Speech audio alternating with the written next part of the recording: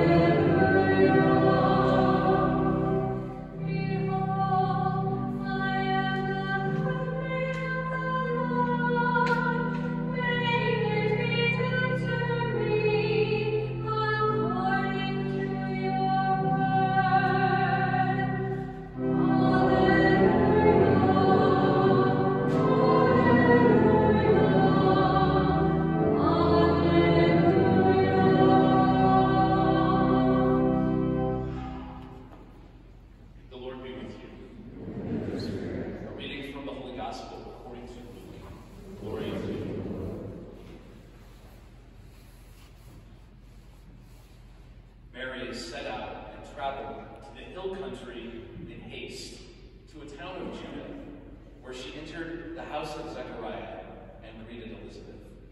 When Elizabeth heard Mary's greeting, the infant leaped in her womb, and Elizabeth, filled with the Holy Spirit, cried out in a loud voice and said, Blessed are you among women, and blessed is the fruit of your womb.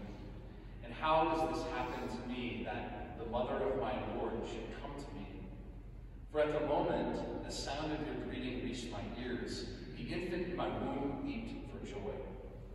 Blessed are you who believed that what was spoken to you by the Lord.